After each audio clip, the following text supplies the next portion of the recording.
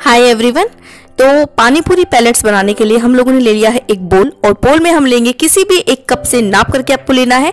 एक कप लेंगे हम यहाँ पर गेहूँ का आटा। मेज़रमेंट बहुत ज़रूरी है इस रेसिपी के लिए तो आप ध्यान रखिएगा। अब जितना हमें आटा लिया है ना, उसका जस्ट हाफ़ हमें लेना है मैदा। तो आप जिस भी कप से नाप रहे हैं, उसका बिल्कुल हाफ़ करके आपको लेना है मैदा। और जितना हमने मैदा लिया है, उसका हाफ़ करके आपको लेना है सूजी।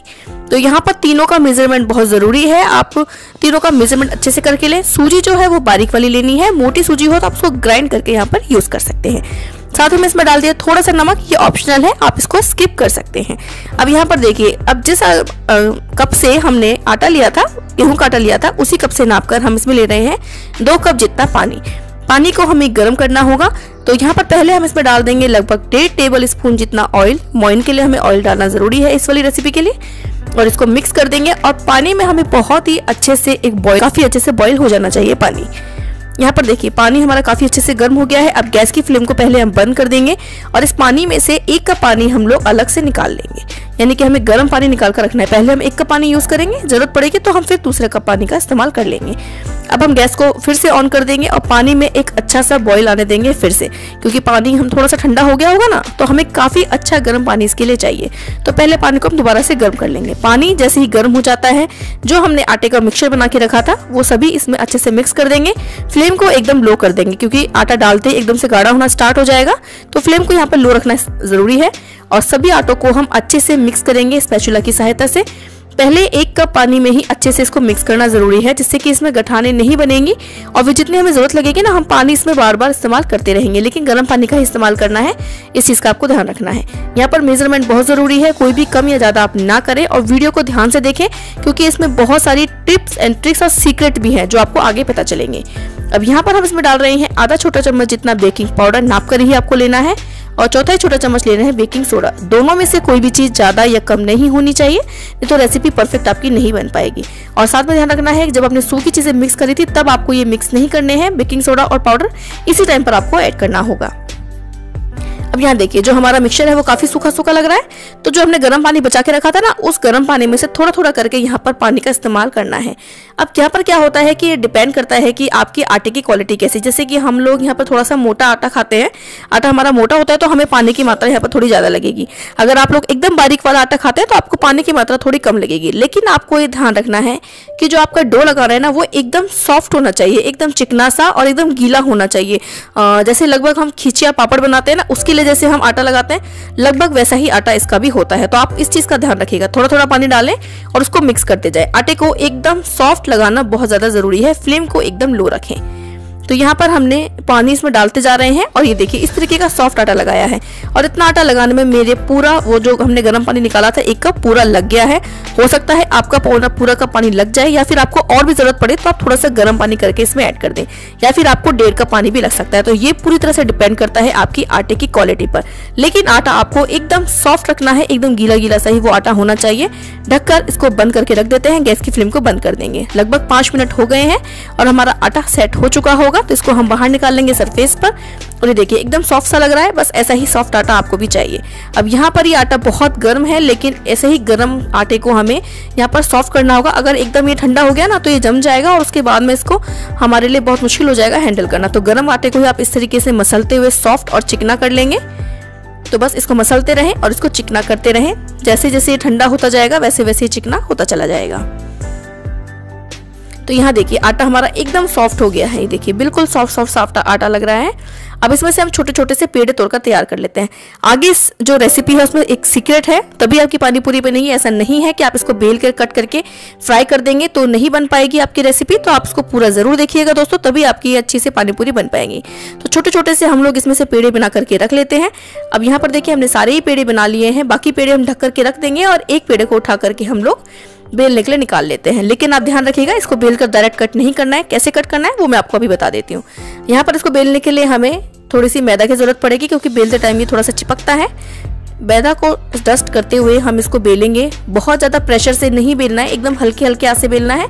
और जब ये चिपकने लगे तो बीच बीच में आप मैदा का इस्तेमाल कर सकते हैं। थोड़ा छोटा सा ही आपको बेलकर तैयार करना है। ये देखिए, इस तरह से बेलकर हमने रख लिया है। दूसरा पेड़ा लेंगे और दूसरे पेड़े को भी सेम इसी तरीके से थोड़ा सा मैदा डस्ट करते हुए सेम उसी साइज़ का बेलना है हमें, जैसे हमने पहले वाला बेला है ना, बिल्कुल उसी साइज़ का हमको बेल कर तैयार करना है। ये एक सीक्रेट तरीका है दोस्तों, जब तभी वो मार्केट वाली पानी पूरी पैलेट्स जिसको पानी पूरी चिप्स भी कहते हैं, हम लोग फ्राइम्स भी कहते हैं, वो बनकर तैयार होते हैं। तो आप इसको ज़रूर देखिएगा इस मेथड को, तभी आपकी पानी पूरी अगर आप पूरा वीडियो नहीं देखेंगे तो आपकी पानी पूरी ढंग से नहीं बन पाएगी फिर आप कहेंगे कि पानी पूरी बनी बनी नहीं हमारी। ये थोड़ी छोटी रह गई है तो हम इसको फिर से बढ़ा लेते हैं। और ये देखिए, हमने दोनों को लगभग बराबर सा कर लिया है। इसको एक दूसरे के ऊपर रखेंगे। इसके बीच में कुछ भी नहीं लगाना है। बस इसको हल्के हल्के हाथ से, हल्का सा दबाया, बिल्कुल हल्के हाथ से। और अब यहाँ पर मैदा स्प्रिंकल करते हुए हमें बिल्कुल हल्के हल्के हाथ से इसको बेलना है। इस चीज़ का ध्यान रखना है। इस टाइम पर आपको बहुत ज़्यादा प्रेशर नहीं लगाना है। एकदम हल्के हल्के हाथ से आपको बेलना है और इसको एकदम पतला सा बेल कर तैयार कर लेना है। रोटी से थोड़ा पतला हमारा ये होना चाहिए, ऐसा हमें बेलना है। जब ये चिपकने लगे, दोनों साइड पर आप मैदा लगा दीजिए और उसको बेलते जाइए। क्योंकि थोड़ा चिपचिपा होता है आटा आटा तो वो चिपकने लगता है। तो बस इस तरीके से हम इसको चारों तरफ़ से फैलाते हुए थोड़ा बड़ा सा कर लेंगे और ध्यान रखिएगा प्रेशर ज़्यादा ना लगे, नहीं तो पानी पूरी फिर बनने के बाद फूल नहीं पाएगी। अब इसके बाद में हम इसको कट कर लेंगे। जिस भी साइज़ में, जिस शेप में आपको इसको कट करना चाहते हैं ओवल में या गोल आप उस तरीके से इसको कट कर सकते हैं। बहुत ही आसानी से कट जाता है क्योंकि आटा बहुत ज़्यादा सॉफ्ट है तो मैं इस तरह से छोटे बना रही हूँ, कुछ बड़े साइज़ के भी बनाऊँगी। तो बस इस तरीके से कट कर लेते हैं और ये जो हमारा डो है, इसको हम दोबारा से इस्तेमाल कर लेंगे। और ये हमारी, ये देखिए, पानी पूरी पैलेट्स कट करके तैयार हो गई है। ये देखिए, इसको एक प्लेट्स में निकाल लेते हैं हम लोग। तो यहाँ देखिए, हमने सारी ही इस तरह से बना ली है, और भी हम बना लेते हैं। तो हमने सारी ही पानी पूरी पैलेट्स बना करके रख ली है। कुछ मैंने बड़ी भी बनाई है, कुछ छोटी भी है। देखिए, इस तरीके से हमने बना ली है। अब इनको हमें या तो पंखे के नीचे या फिर धूप में अच्छे से सुखाना होगा। अगर आपको साल भर स्टोर करना है तो आप, मैं रिकमेंड करूँगी, एक दो घंटे के लिए इसको धूप ज़रूर लगा लेनी तो आप पंखे के हवा में भी इसको सुखा सकते हैं। तो चलिए, सूखने के बाद फिर हम इनको देखते हैं। यहाँ देखिए, सूखने के बाद में हमारी पानी पूरी पैलेट चिप्स बन करके तैयार हो चुकी हैं। ये देखिए, ये हमारी होममेड है। और यहाँ पर दूसरी साइड जो आप देख रहे हैं, ये हमारी मार्केट वाली देखिए, बिल्कुल एक जैसी लग रही है। कलर में थोड़ा डिफरेंस है क्योंकि मार्केट में कॉर्न स्टार्च का भी यूज़ किया जाता है कॉर्नफ्लावर का भी यूज़ करते हैं, इसलिए इसके कलर में इतना सा डिफरेंस है बस। बाकी आपको टेक्सचर में कोई डिफरेंस नहीं लगेगा। एकदम परफेक्ट है। आप चाहें तो सूजी की जगह कॉर्न स्टार्च यूज़ कर सकते हैं, लेकिन क्वांटिटी फिर थोड़ी सी कम करनी पड़ेगी। बाकी आपको फ्लेवर और टेस्ट बिल्कुल वैसा ही मिलेगा। तो चलिए, मैं आपको इनको फ्राई करके भी दिखा देती हूँ। तो थोड़ी सी पानीपुरी में आपके सामने ही इस प्लेट से उठा रही हूँ, ताकि आपको ऐसा ना लगे कि मैंने मार्केट वाली फ्राई करके दिखा दी है। बस इस तरह से हाथ में उठाया। ऑयल को काफ़ी अच्छे से गर्म करना है। ऑयल के जैसे ही गर्म हो जाता है, हम उसमें डाल देंगे हमारी पानी पूरी पैलेट्स और इनको इस तरह से हम हिलाते रहेंगे थोड़ा थोड़ा सा टर्न करते रहेंगे, और ये धीरे धीरे फूलना स्टार्ट हो जाएँगी। बस आपको ध्यान रखना है, पानी पूरी अच्छे से सूख जानी चाहिए, बिल्कुल ड्राई हो जानी चाहिए और आटा हमारा सॉफ्ट होना चाहिए, तभी हमारी पानी पूरी अच्छे से फूलेगी। अगर आटा सॉफ्ट नहीं होगा तो पानी पूरी बढ़िया से फूल नहीं पाएगी और जहाँ से बेलते टाइम थोड़ा सा दबाव पड़ जाता है ना तो वहाँ से पानी पूरी नहीं फूल पाती। जैसे ये वाली रह गई है कहीं कहीं दबाव पड़ जाता है तो वो नहीं फूल पाती है। इसी तरीके से हम और भी पानी पूरी फ्राई कर लेते हैं। तो बस, आपको बस बनाते टाइम इसी चीज़ का ध्यान रखना है। आटा सॉफ्ट लगाइएगा, बेलते टाइम ध्यान रखिएगा, बहुत ज़्यादा प्रेशर ना दे और अच्छे से ड्राई कर ले, उसके बाद में आप इनको फ्राई करें और आपको रिज़ल्ट एकदम परफेक्ट ऐसा ही मिलेगा। तो यहाँ देखिए, हमने अपनी ये पानी पूरी फ्राई करके तैयार कर ली है और एक पानी पूरी मैं आपको तोड़कर दिखाती हूँ कि इसका टेक्सचर एकदम मार्केट जैसा है या नहीं। ये देखिए, एकदम परफेक्ट टेक्सचर इसका होगा। आप इसको एक बार ट्राई ज़रूर कीजिएगा। ये देखिए, एकदम परफेक्ट टेक्सचर है। ये देखिए, क्योंकि हमने मोइन भी डाला था ना इसमें। ये देखिए, एकदम परफेक्ट मार्केट जैसी हमारी पानी पूरी बनकर के तैयार हुई है।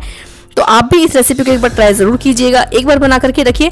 साल भर स्टोर करके रख सकते हैं। अगर अच्छे से बीच बीच में आप धूप लगा लेंगे तो कई सालों तक ये खराब नहीं होती है। बिल्कुल खराब नहीं होंगी। आप इसको धूप लगा लीजिएगा अच्छे से, से बिल्कुल भी खराब नहीं होंगी। तो आपको आज की रेसिपी कैसी लगी मुझे कॉमेंट करके ज़रूर बताइएगा दोस्तों। वीडियो पसंद आया हो तो लाइक शेयर ज़रूर करें। कोई भी कन्फ्यूज़न हो तो मुझे कॉमेंट करके पूछ सकते हैं। आपके हर कॉमेंट का रिप्लाई मैं कर ही देती हूँ। तो फिर से मिलेंगे एक नई वीडियो के साथ में। तब तक के लिए अपना ध्यान रखिएगा अपने आसपास साफ़ सफ़ाई रखिएगा। तब तक के लिए बाय थैंक यू